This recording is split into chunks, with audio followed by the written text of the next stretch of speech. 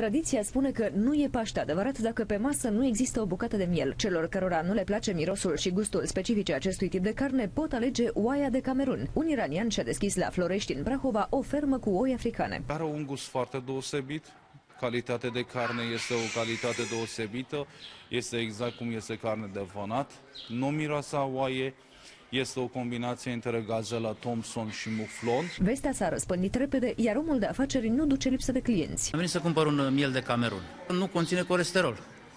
Și persoanele de la o anumită vârstă în sus trebuie să facă un pic de economie la colesterol. În plus, mănâncă mai puțin, sunt mai ușor de întreținut și nu trebuie tunse. Prețul lor însă este ceva mai mare decât al mioarelor autohtone. Un kilogram de miel de Camerun costă 40 de lei.